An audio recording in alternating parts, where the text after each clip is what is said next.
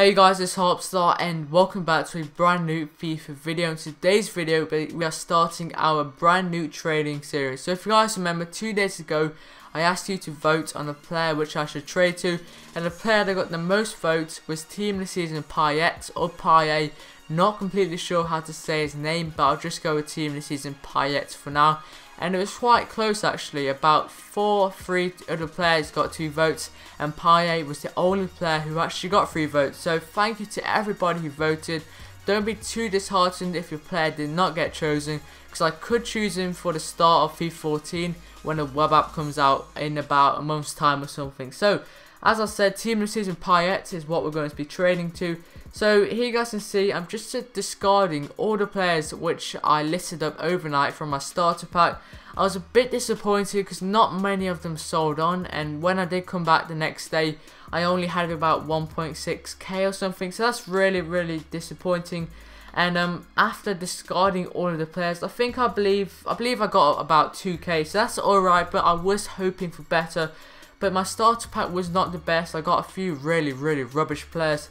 So let's go into the trading. We have a Felipe Azevedo who I brought for 450 coins and attempted to put up for 800 coins by now price. So as you can see, um, what I did that, what I did first is I brought silver and also bronze players because it's just a great way to get your money up.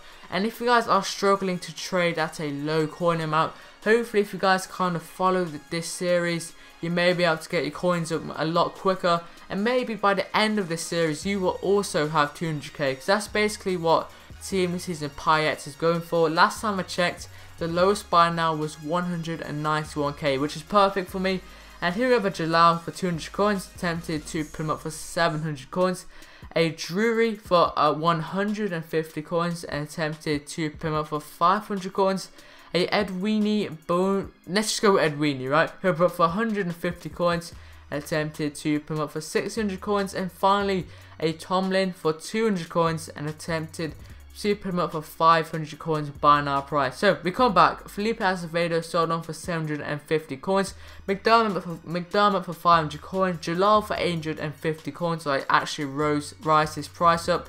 And um, Tomlin for 500 coins. Drury, Claus, and also Vince Art is yet to sell on, so that's not too bad. But here we have a Denver bar, Um, so we're going into the golds now, and I attempted to up for 1.3k, as you guys can see. And I was saying to myself, should I put him up for three hours? But I just said to myself, just put him up for one hour for now.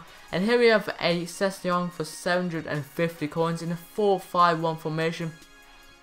Attempted to put him up for 1.5k. And here we have a Fellaini. This is a fantastic deal who I brought for 1,000 coins and attempted to put him up for 2k. A RB, wait, let me say this. Arbo Leda, Arboloda, who I brought for 300 coins, attempted to him up for 600 coins. And finally, we have a Nam Guing, uh, Namgun, sorry, who I brought for 150 coins, attempted to him up for 700 coins. So Session sold for 1.3k.